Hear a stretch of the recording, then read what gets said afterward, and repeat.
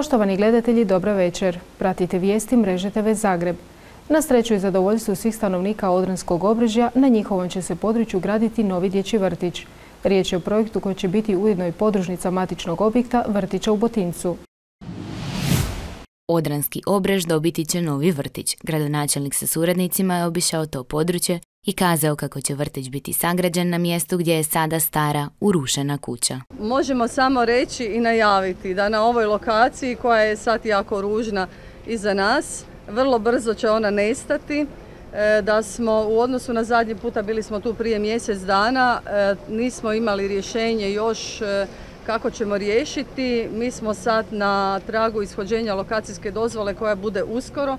Nakon lokacijske ide građevinska dozvola i evo prema svim podacima dostupnim do 30.11. bi mi trebali dobiti građevinsku dozvolu. Nakon toga odmah će se ići na raspisivanje javnog natječaja i na proljeće 2021. očekuje se rušenje stare kuće i početak radova na novom vrtiću. Taj vrtić biti će podružnica matičnog objekta vrtića u Botincu. Izražavam izuzetno zadovoljstvo i sretna sam što u ime, e, mogu reći kako i u osobno ime, tako u ime e, mojih zaposlenika e, dječjeg vrtića, a najviše građana Odranskog obreža što će dobiti ovaj vrtić sa tri odgojne skupine gdje ćemo se i mi u Botincu rasteretiti, a djeca i građani e, Odranskog obreža neće i morati prevaliti veliki put da bi došli do matičnog objekta. Ovo je velika stvar za sve stanovnike Odranskog obrežja,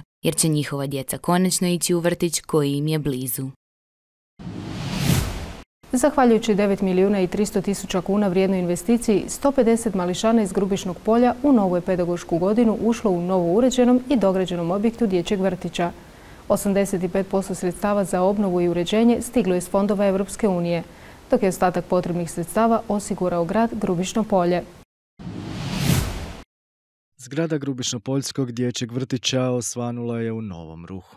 Može se to zahvaliti investiciji od 9,3 milijuna kuna, kojom je vrtić adaptiran i dograđen, a stigla je i potpuno nova oprema. 85% sredstava za tu investiciju stiglo je iz europskih fondova, dok je ostatak namirio grad Grubišno polje. 150 djece ušlo u vrtić, tako da evo, mislimo da, da je lokalna uprava napravila sve što je bilo njezinoj, njezine mogućnosti, možda čak i više u odnosu na e, financije i situaciju kakva je, ali ono sve što smo obećali, to smo, to smo odradili. Usporedo s pedagoškom godinom u dječjem vrtiću, Započela je i nova školska godina u Grubišno-Poljskoj osnovnoj i srednjoj školi. Mi smo i ove godine osigurali radne bilježnice i radne bilježnice i mape za osnovnoškolce. Za srednjoškolce smo osigurali e, tisuću kuna za svaku ko upiše prvu godinu, tisuću kuna naknade e, kao pomoć za nabavku, za nabavku knjiga. Za, za prvačiće smo osigurali trokutiće, zaštitne trokutiće u onom smislu sigurnosti u dogovoru, u dogovoru sa policijom. E, mislim da će to biti uskoro isporučeno, tako da na taj način evo, vodimo brigu, vodimo brigu o učenica, subvencioniramo prevoz učenika e, u ugovoru sa Čazmatransom i mislimo da smo mi kao lokalna uprava napravili e, sve što je bilo moguće što se tiče početka, početka škole. A škole provode i određene epidemiološke mjere.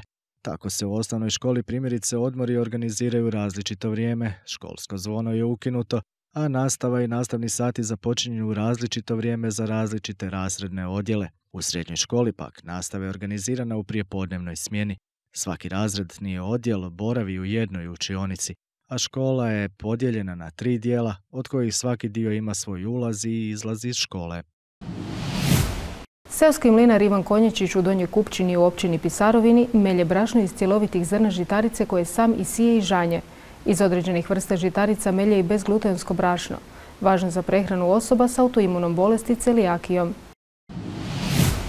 Prava je riznica vrsta brašna iz cjelovitog zrna žitarica u mlinu umirovljenika Ivana Konječića u Pokupskom selu Donjoj Kupčini u općini Pisarovini.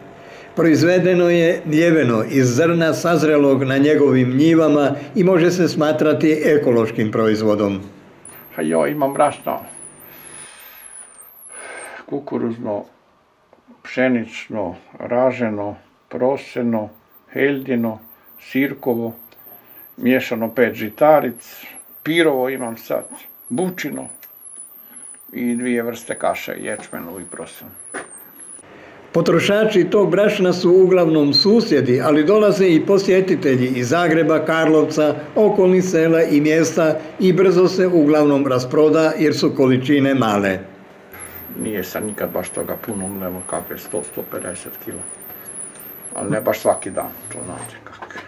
A sad se slabo zadnje vrijeme. A tko su zapravo sada e, oni koji uzimaju ovo brašno? Jel su to ovi makrobiotičari, ovi moda? Jel to moda sad? Ja mislim da je to i zdravo. Dosta ljudi koji se hoće zdravo hraniti. Mladi ljudi zadnje vrijeme više nek stari i tako. Ivan Konječić nakon umirovljenja nastavio je obrađivati zemlju i posvetio se sjetvi različitih vrsta žitarica, pa i onih koji na tržištu gotovo i nema, poput prosa i heljde. Obrađujemo 18 hektara zemlje, pa to sijem sve, sijem proso, sijem heldu, sijem raš, sijem pšenicu, sijem, ne znam šta ni sam, sirak, taj sve što. U ovome mlinu u Donjoj Kupčini melju se i bezglutenska brašna koja pomažu bolesnima od određenih bolesti. Naravno, i to su brašna iz cjelovitog zrna žitarica, prosa i drugih. Prosto nema ništa glutena, niti helda nema glutena. Radite, možete peći kruh, možete kuvati kaše, možete sve, sve, kao i ovo brašna, samo ljudi svašta rade i čak i palačinke, čul sam od helda i tak, takve stvari. Seoski mlin u Donjoj Kupčini među posljednjima je u ovome dijelu Pokupske doline a i jedan je od rijetkih koji melje od pojedinih vrsta žitarica i bezglutensko brašno. O kakvom nutrijentu se radi najbolje će zati odgovoriti osobe s autoimunom bolešću koja se zove celijakija i kojih je u ukupnoj populaciji 1%. Zacijelo da baš njima mogu pridonijeti zdravlju mlinarski proizvodi bezglutensko brašno iz cjelovitog zrna iz seoskog dvorišta mlinara Ivana Konječića. Općina Senovac ponosna je na veliki broj udruga, a posebice na udrugu umirovljenika koja je jedna od najaktivnijih. Uz brojne programe i projekte koje provodi, svi umirovljenici imaju priliku uživati i kvalitetno provesti vrijeme u svojoj trećoj dobi.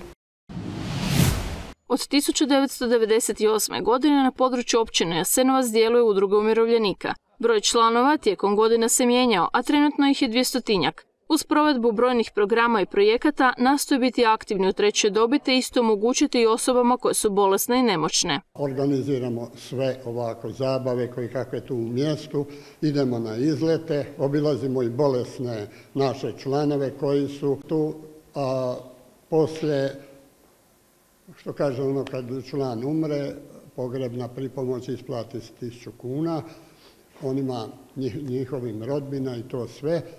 A imamo što skažano i kasu uzajamne pomoći i takve stvari. Mislim, ono stvarno, prije smo i zimnicu nabavljali, no međutim sad to malo manje ljudi traže, valjda imaju svoje. Tak, a uglavnom nabavljam, prije smo i ogrevno drvo nabavljali sve, imali smo povoljne dobavljače, sad se to smanjilo na piliće, koji danas su jako popularni. Umirovljenici su aktivni čuvari baštine, čijalo, prelo i perušalo običaje su koje njeguju, a provode i sportske aktivnosti poput veslanja na Savi. Sad to malo radi ove korone i tog svega smanjilo se jako puno, čak smo i pokušali izlet, međutim bojimo se toga ipak svega da se ne daj Bože šta desi mi krivi, jel? Onda najbolji mir za sada. Veliki broj udruga ponose općine Jasenovac. Ponosna sam na sve udruge koje djeluju na području općine Jasenovac. Imamo 28 udruga.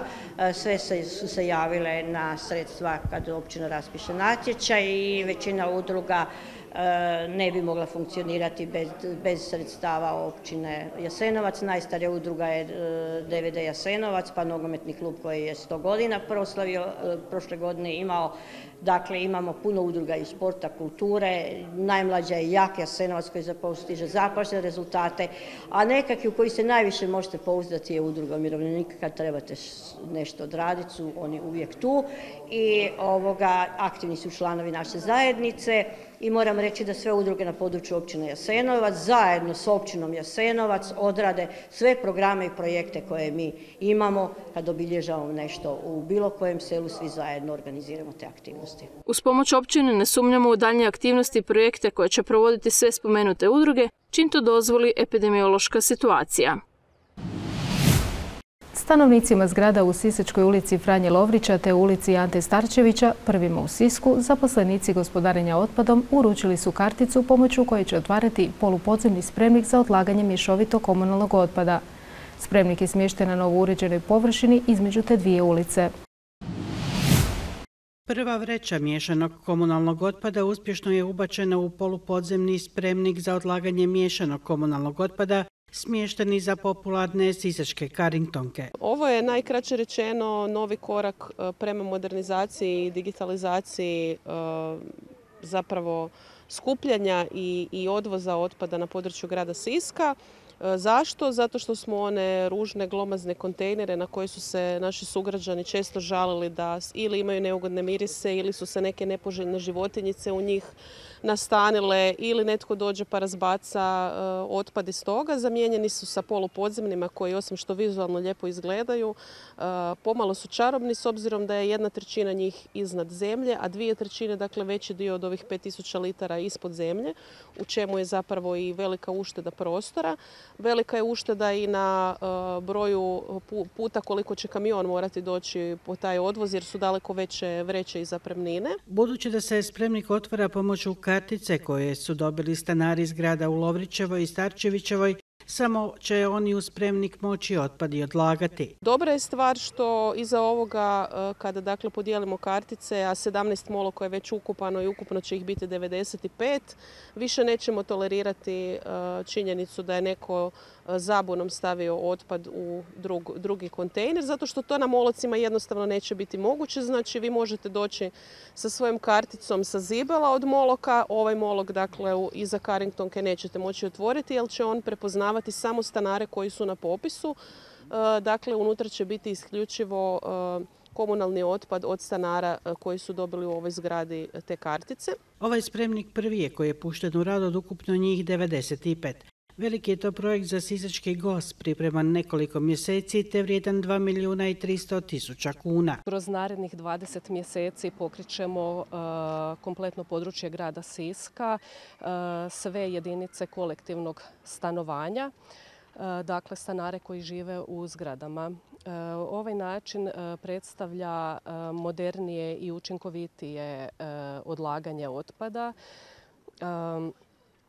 Za gospodarenje otpadom to znači optimizaciju poslova sakupljanja otpada, a za građane manje buke, manje neugodnih mirisa i neovlašteno neovlašten pristup spremnicima od strane osoba kojima taj isti spremnik nije i namijenjen. Ulaganja u komunalni standard Sišćana nastavljaju se i dalje. One zelene otoke koji su već zaista zapušteni i e, ljudi bacaju njih svašta za papir, za staklo, e, i plastiku ćemo zamijeniti sa 435 novih koje smo uh, u sufinanciranje nabavili preko Fonda za energetsku učinkovitost i zaštitu okoliša.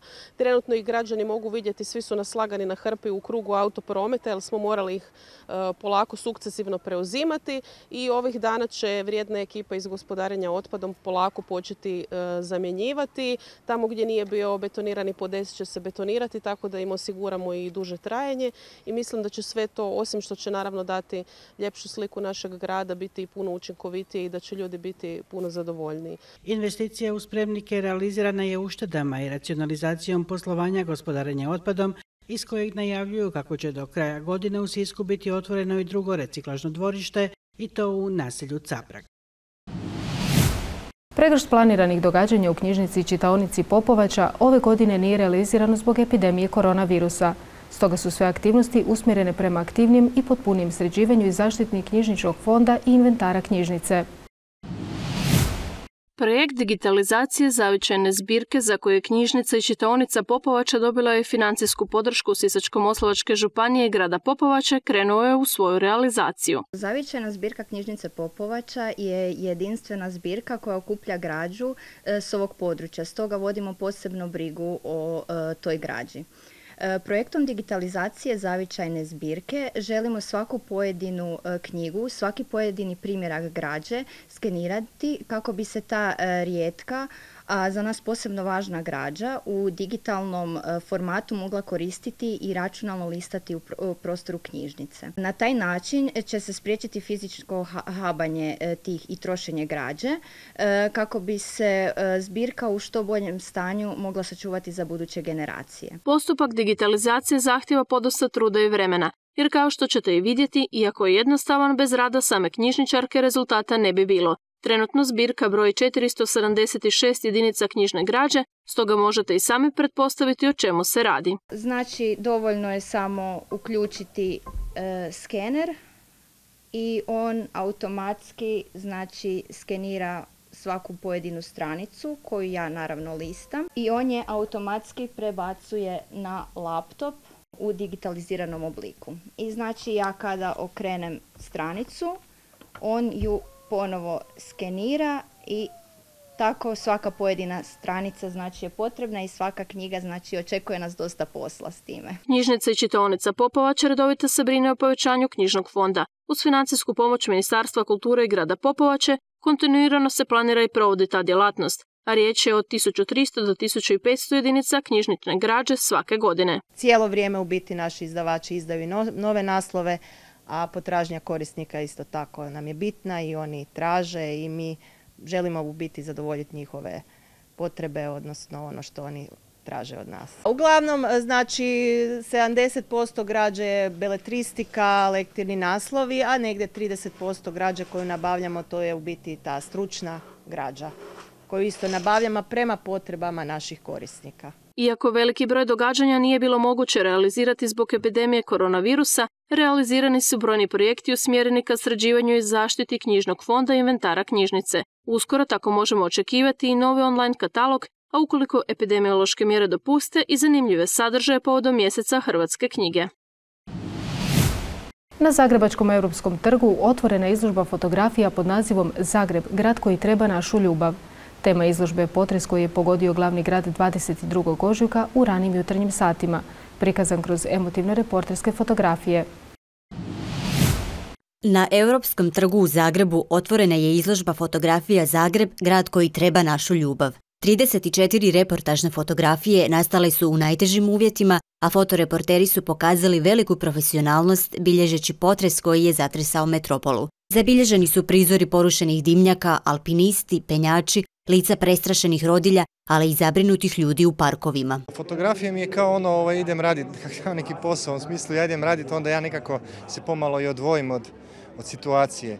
Pa kad fotkam, onda ovaj, tako, to se idemo raditi. Ali onda, me, onda pomalo, kak više radim, onda ta, ta stvarnost koja je takva kakva je, ovaj, me uzima, onako se kaže, i emocije i, i ta tuga i ta, i ta čudna kombinacija čudna kombinacija znači lockdowna, e, korone, potresa i sve, sve se sabilo u jednom danu i onda je tako, dok sam svoju obitelj zbrinuo, onda sam sa biciklom u grad. Ne? Uglavnom smo s biciklima radili. Ne? Ja, ja volim Zagreb i moj Zagreb je moj grad, tako da ne znam, meni to emocije i grdo. Izložbi u srcu grada prisustvovao je i gradonačelnik Zagreba Milan Bandić, koji je poručio da će 10 sekundi potresa pamtiti vječno. Izrazio je sučet obiteljima koji su zbog potresa ostale zbog svojih najmilijih. Bolje da smo dobili, dobili smo maksimulan iznos od 90 milijuna eura, ali lakše bi podnio i da smo manje dobili, a da nije ova djevojčica poginula. Jenovci će doći, obnovit ćemo Zagreb, jer je kataklizma slična bila prije 140 godina, a ljudski život ne možemo vratiti. Žao mi je također, izražavam suđut i obitelji kao mlade djevojčice, kao i oni dvoje naših branitelja koji su poginuli nakon potresa u sanaciji zagrebačkih krovova. Izložba je tematski podijeljena u šest poglavlja, a svi zainteresirani mogu ju pogledati do 4. listopada. Slijedi pregled kratkih vijesti. Temeljem godišnjeg plana energetske učinkovitosti za 2020. Sisačko-Moslovačka županija planira ostvariti uštede energije od 7 milijuna i 454 tisuće kWh i smanjenje emisije CO2 za 1952 tone. Planirane uštede izračunate su temeljem sustava za praćenje, mjerenje i verifikaciju ušteda energije. Sisačko-Moslovačka županija planira u ovoj godini za energetsku učinkovitost utrošiti 28 milijuna i 420 tisuća kuna vlastitih sredstava. Poštovani gledatelji, došli smo do kraja današnjih vijesti. Hvala vam na pozornosti. Ostanite s nama i pogledajte još i vremensku prognozu. Želim vam ugodan vikend.